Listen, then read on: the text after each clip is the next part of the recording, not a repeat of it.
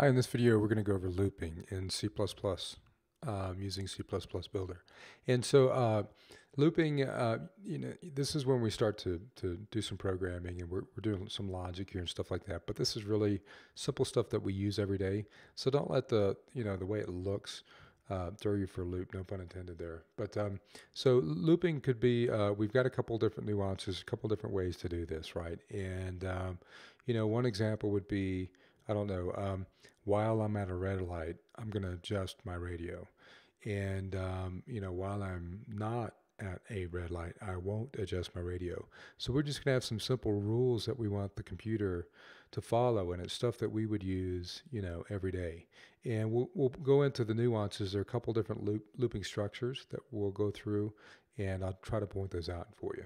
So what we have here is just a regular form. I've got two labels and a button. And again, if we double click the button here, it takes us to this, uh, this function. And we'll go over functions in another video. But um, we're at this function, and what we want to do is we want the computer to do something a set number of times. So we'll go ahead and create a couple variables. We're going to create an integer, let's call it i, and we're going to set it equal to 0. And then we're going to create a character, car, uh, and we'll call this ch and I'm not going to set it to anything yet. Uh, and the first loop that we're going to use is called a for loop. And, you know, um, uh, you could think of if I was creating a program to do flashcards, right? And I'm, um, let's say I'm trying to teach somebody how to do the multiplication tables 210. So it would be 4, 1 through 10.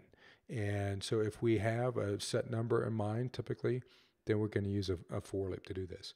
So I'll type in for in space. You know, the great thing about uh, C++ Builder and a lot of these products would be the code completion. They do this for you. So it prints out the structure that we need to do this. And so let's go ahead and look at these three components. So the first one, it says i is equal to zero. And um, we had this done up here, so this may look redundant but uh, we're going to use this uh, this variable in a couple different ways, so I just went ahead and defined it. So we've set some counter, and i here is the counter. It's going to count how many times we go through the loop. Now, the second thing we have is a, is a conditional statement, and this is this is important.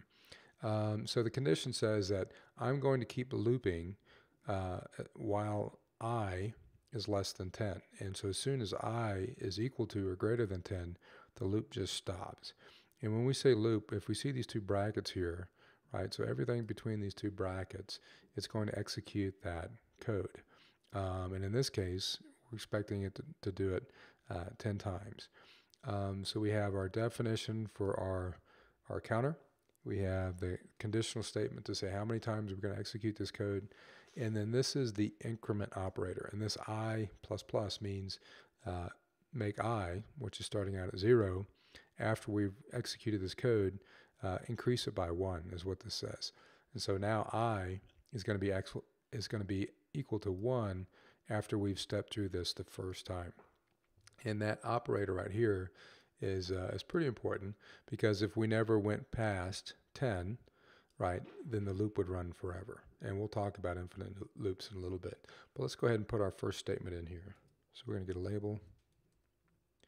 Let's take label one and we're going to update the text and we'll make it equal to i. So let's go ahead and execute this. And when we click on our button, we can see 9. Now, a couple things here. Let's let's go ahead and look look at the code. So we have 10 in here. Why did it, it not equal 10? And the second question is, why didn't we see the other numbers? Um, so the computer, the code executed so fast that we didn't see the other numbers. We just saw the last number. And again, that was 9. And the reason it was 9 is because we said do this while i is less than 10. And so it never actually equals 10. If we change this operator, then we get 10, just like we expect. And so this is a really quick loop. Again, we could make this uh, 10,000, a million, a billion, whatever we wanted, and the computer's going to do it that many times. Um, so let's do another one here, just to show you uh, examples of what we can do. And this time, what we're going to do is we're going to use the, uh, the character. So let's change this up, and let's say ch is equal to a. And then what we want to do is say while um, ch is less than or equal to, like we did before, z, and then we want to increment ch. And let's look at the label. We're going to use label 2.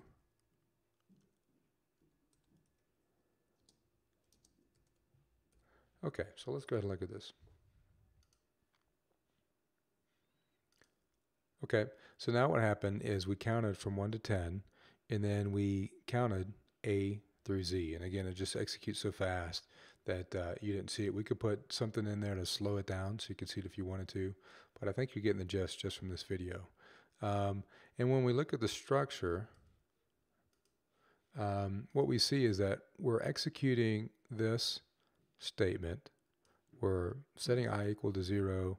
We're looking at our conditional, and then we're incrementing that. And we're doing this 10 times. And then this executes and finishes, and we go to the next loop. So this is one after another. This is um, serial, right? We do one thing, and then we do something else. But let's say, you know, what if my program said that I need to count from A to Z 10 times? How would, how would we do that? Well, what we need to do is uh, this is called a nested for loop. And we're nesting them together. So if I put one for loop inside of another one, right, then what will happen, clean this up so we can see it here. So then what happens is um, uh, we have i equal to 0. We're going to execute this code, which includes counting from a to z, and then we're going to increment by i. So then it goes back up to the top. Then i is equal to 1, and we're going to execute this again. And so this way, we count to from we count a to z, in this case, uh, 10 times. Actually, it's 11 times because we're starting at 0. If we wanted it to be 10, we could do this right here. Um, but realize that this is going to take longer now if we hit run again. Yeah, there was a little bit of a change. You probably wouldn't notice it a lot, but let's do this. Let's change this to 10,000. Now there's gonna, there should be a, a delay. And there's definitely a delay. Not sure how long the delay is going to be, but it's still going. There we go. So we counted from A to Z 10,000 times. So let's go ahead and get out of here. So you can see just by changing this up uh, how we've changed the flow and the performance of our of our application, right? Because it's easy to count to 10,000.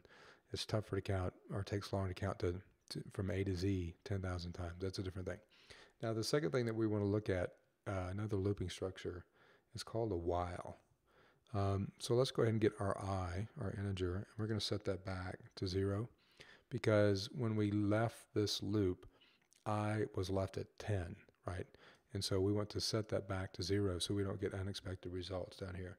Now, the while is a little bit different. When I hit space here, uh, again, the computer does a code complete, and there's not a lot there right? So at first this looks pretty simple. Well, while while while something is true, that's what uh, the one means. One is true, zero is false. So let's put in here while i is less than five. Um, you know, let's let's uh, execute something. Bring this back up. I can find my cursor. Okay, so we're going to say while um, i is less than five label one, text, and we're going to make this equal to i, so we're just overriding what we did up here. Now, um, this looks, again, pretty straightforward, and you may be asking, well, if this is easier than uh, the for loop, why not just use while? So I want to show you a couple things here. So the first thing is going to be an infinite loop, and what I'll do, because you'll probably see this at some point, so we're going to run this. We'll hit the button, and uh, you know we have a screen lockup, right? I can't move this, I can't I can't stop it. Uh, this is called an infinite loop. So let me kill this process. Here it is. So you can see it's not responding. So let's kill it. And now, don't need to tell Microsoft we're, we've messed up. Okay, so let's go ahead and kill this. Now let's look at what happened. So what we told it is that while i is less than 5, uh, print out I and on the screen. And that's what it did. Now the problem is, is I is always less than 5, and so it never quits. And so this infinite loop means it goes on infinity, and eventually, you know, your computer hangs, you may run out of memory, bad stuff happens. So you have to look for these infinite loops. And so on the for statement, it automatically put in here to increment i, but this one did not, right? So while loops are a little bit different. So what we'd have to do is say i is, you know, uh, let's increment i, and then we can, we'll go ahead and show you how it executes. And there we go, it counted to four. Uh, again, we didn't do the less than equal, but we could. Um, and so while loops are a little bit different. So the, the nuance that I like to do is that if I'm counting to a known number, uh, and this is just an example, right? But if I'm counting to a known number, let's say 10, or, um, you know, again, I can say adjust my radio while I'm at the red light. I know the red light 60 seconds, something like that, something straightforward. We tend to use for loops. Uh, we use while loops when we may not know how long something is, is. So let me just bring up a browser and I'll try to give you an example. So if I go to Slashdot, let's see. Okay, so if I'm here at this website, um, and let's say I wanted to create a parser, something to go out to the web and grab all the text and, and do something something neat with it, right? The, the key is I don't know how much text is on here. I don't know how many words are on here. So what I would do is create a while statement and basically say while there is more text. So I can test it to make sure there's text. And as long as there's text, I'm going to keep grabbing it. But when there when it runs out of text, when there's end of text is what we'll call it, then I want to stop the loop, right? So the key here is I don't know how long it is, but while the system is still giving me text, I'm going to process it. You can do the same thing if you open a, you know, a Word document. So let's say I want to open the Word document, take all the text out. While there are more words, keep doing this, and that's why the while statement is uh, is useful because we don't know how long something is. Again, if we do know how long something is, then we'll tend to use a uh, a, uh, a for statement. So this is a subtle nuance, um, but I do want to point this out because you're going to see this in code. There are a couple different ways to do looping, but these are two of the key ones. And uh, just practice with, with this a little bit, play around with them. Um, you know, you could uh, you could increment steps um, uh, by two. You can do all kinds of things here to change around the conditionals, but realize they're kind of solving a similar problem looping, but they're they're kind of used in two different ways. And if you keep that in mind, I think you're I think you're going to be straight straight. So take care, and we'll see you in the next video.